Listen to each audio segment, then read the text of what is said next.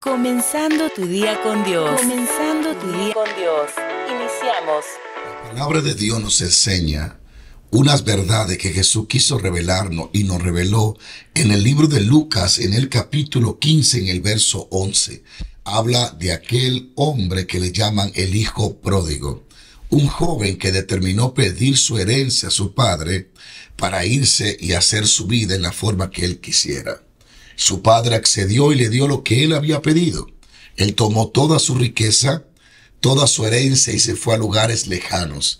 Y dice la palabra de Dios que allí malgastó todo lo que tenía, a tal punto que no tenía ni siquiera para comer. Y es increíble ver que al mismo momento en que él malgasta todo el dinero, toda su herencia, vino una gran crisis sobre la tierra, una gran hambre, pero tan fuerte que este hombre comenzó a vivir temporada muy difícil, tan difícil que tuvo, tuvo que atender cerdos y trabajar con cerdos. Y fue tan difícil para él que deseaba aún la comida de los cerdos, porque lo había perdido todo. Había caído tan bajo, se sentía tan mal, se sentía tan derribado, se sentía tan fracasado, toda su herencia la había perdido. La había perdido por causa de él mismo. Tuvo un manejo que no tenía que haberlo tenido. Pero la palabra de Dios nos muestra un milagro de restauración, algo que impactó mi vida, como Jesús nos muestra. Dice, y aquel hombre, volviendo en sí, recordó que en la casa de su padre había pan y que cualquiera de los jornaleros que trabajaba en la casa de su padre por lo menos tenía comida decente, tenía un techo donde dormir. Así que este hombre, dice la Biblia, y volviendo en sí, dijo, iré a la casa de mi padre, me someteré a él y seré como un trabajador común y corriente. Él creía que no merecía ser hijo de aquel padre, que como había malgastado su herencia, y había mal administrado lo que se le había otorgado. Él decía, yo no merezco ni siquiera volver a considerarme hijo de mi padre. Sin embargo, la Biblia dice en esta hermosa parábola que aquel joven fue a la casa de su padre la historia termina diciendo que el padre lo vio de lejos, corrió, lo abrazó, mató el becerro más gordo, le dio una vestimenta nueva, le puso un anillo, lo restauró y este joven fue restaurado de una forma extraordinaria y maravillosa. Y cuando vemos esta parábola, nosotros podemos visualizar el corazón de Dios. El Señor sabe que cometeremos errores, que tomaremos decisiones que no debíamos de haberla tomado pero que ya una vez tomada, una vez, una vez que caímos en el lodo, una vez que fallamos, el Señor quiere que recapacitemos, que volvamos en sí. El problema de Judas fue que no entendió que podía arrepentirse. La bendición de Pedro es que a pesar de haber negado a Jesús, incluso Pedro maldijo diciendo yo no lo conozco. Lo negó cuando caminó con él, andó con él, incluso hablaba como él. Pero la diferencia entre Pedro y entre Judas es que uno se arrepintió y uno no se arrepintió. No volvió en sí. Y es ahí donde va a estar la diferencia de tu restauración. No es, no es que no, no es que Dios esté contento con tu pecado. No es que a Dios le agrade lo que haya hecho. Pero Dios es un Padre que está dispuesto a perdonar, que está dispuesto a restaurarnos. Si nosotros reconocemos nuestros pecados y nuestros errores. En el libro de Osea dice, andaré y volveré a mi lugar y me esconderé hasta que ellos reconozcan su pecado y busquen mi rostro.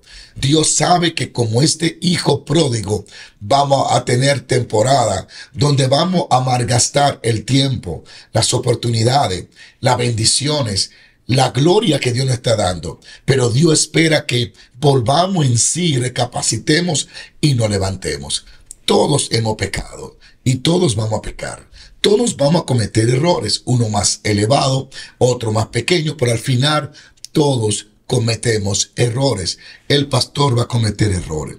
El evangelista, el apóstol, el maestro, la presidenta de dama, el presidente del concilio, todos estaremos expuestos a cometer errores. El punto es qué hacer cuando estamos en el piso, qué hacer cuando estamos en el lodo, qué hacer cuando hemos pecado tú puedes tomar dos acciones. Ignorar de que estás mal y tratar de seguir bien cuando sabe que estás mal.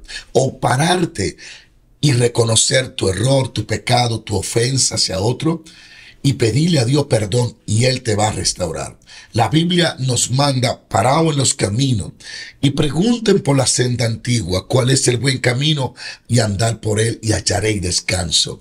Caminar por el camino de la santidad produce descanso y paz en nuestro interior.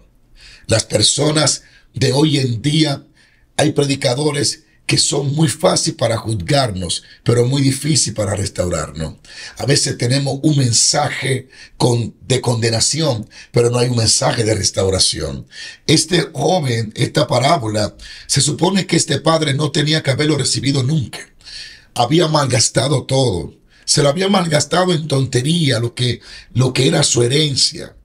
Sin embargo, el padre lo perdona porque sabe que el hijo perdió la herencia, pero él no perdió al hijo. Y ese es, ese es el corazón de Dios, un corazón de padre. Dios no está esperando que tú peques para enviarte un rayo y castigarte. Él no está a la expectativa a ver a qué hora peca para matarlo. Si fuera así, entonces no tenemos un padre, tenemos un verdugo. Tenemos alguien que anhela que caigamos para luego destruirnos. Ese no es Dios. Mi mensaje es el siguiente. La parábola consiste en varios puntos, pero uno al que quiero señalar, volver en sí. Aquel joven volvió en sí y entendió que a pesar de haber caído, de haber cometido errores, de haber malgastado lo que se le había dado, de haberse alejado a pesar de estar en el lodo, él dijo, tengo oportunidad de levantarme. Volviendo en sí, dijo, me levantaré e iré a la casa de mi padre. Muchos de ustedes están esperando que alguien vaya y le extienda la mano. ¿Y cómo me gustaría hacerlo? Pero hay ocasiones donde nadie aparece. Hay ocasiones donde nadie te da palabra de aliento. Hay ocasiones donde a nadie le interesa que estás en el piso y mucho menos le interesa que te levante. Es ahí donde tú tienes que hacerlo de joven. Vuelve en sí, levántate tú. Nadie estuvo al lado de este joven para extenderle la mano.